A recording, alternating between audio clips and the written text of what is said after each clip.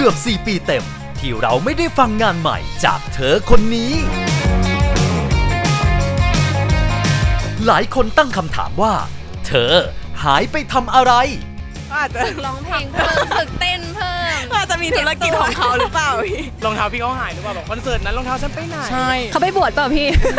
อาจจะไปซุ่มแอบทำแอบทำเพลงหรือเปล่า ทำอัลบั้มใหม่ให้พร้อมให้เราดูแน่เลยค่ะ ก็น่าจะเป็นเพลงที่เหมือนแบบปลุกใจวัยรุ่น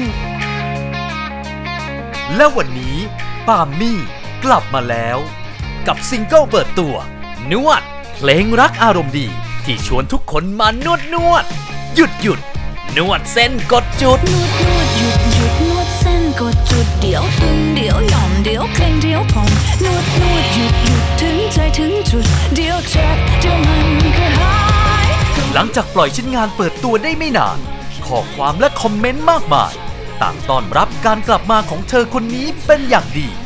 คิดถึงค่ะ คิดถึงมากเพลงนวดนี้รู้สึกทำให้พวกเราแบบรู้สึกเมื่อยมากอะไรเงี้ยพร้อมนวดมากๆเลยใช่ไหมคะใช่ค่ะ มาดีดมาแดนกันกระจายเลยนี่ไง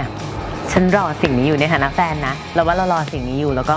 มี่ไม่เคยทำให้ผิดหวังจริง ๆ สนุกเหมือนเดิมคือผมว่าเห็นเขาแล้วมันคือแบบเออเราอยากดูว่าแบบเขาจะเอาความสนุก แล้วก็เอาความสุขอะไรมามอบให้ ให้แฟนๆ ซึ่งผมดูจาก feedback แล้วดูแฟนๆแบบคิดถึงมาก ดูแล้วแบบคึกคักสนุกสนานกระปรี้กระเปร่า ก็ฟังแล้วกระดึ๊กกระดั๊กดีอะมันก็เหมือนได้นวดหน่อยตื่นมาจากการนวด ชุดนี้ก็เป็นอีกชุดหนึ่งที่ผมว่าเขาค่อนข้างแบบกลับมาสนุกอีกครั้ง แล้วก็กลับมามีชีวิตชีวาอะไรเงี้ยดนตรีนี่ชอบอยู่แล้วถึงได้เนื้อเพลงก็อ่านวดน่ารักอะหลายคนจะรู้สึกว่าเฮ้ยทำขนาดนี้ก็ได้ด้วยเหรอ เราเปรียบนวดเป็นเรื่องรักได้ด้วยเหรอ มันได้แล้วก็ในเพลงนี้เล่าทั้งหมดค่ะ เพลงนวดอยู่ๆมาแต่งเป็นเพลงได้ยังไง ฟังดูแล้วเรามีความรู้สึกว่าติดหูมากเลยอะ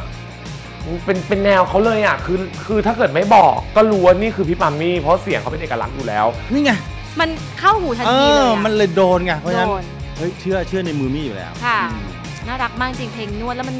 เหมาะกับคนวัยเราจริงที่ต้องการการนวดเนาะ เพลงนี้บุกโกะคิดว่ากลับมาปังแน่นอนแล้วก็ติดหูแน่นอน เพราะว่ามันความสนุกในเพลง แล้วก็มันเป็นตัวพี่มี่เลย เขาไม่หยุดอยู่กับที่ครับเขาจะมีอะไรใหม่มาให้เราได้แบบติดตามตลอด ขอยินดีต้อนรับครับจีนี่ก็กลับมาคึกคักโดยมีสุภาพสตรีและปกติมีแต่ชาวร็อกหน้าเหี้ยมที่เคยรักเธอมากแค่ไหนเดียวก็ต้องเจ็บช้ำเหมือนเดิมแล้ววันนี้ปาล์มมี่ พร้อมแล้วที่จะพาทุกคนไปทำความรู้จักซิงเกิลใหม่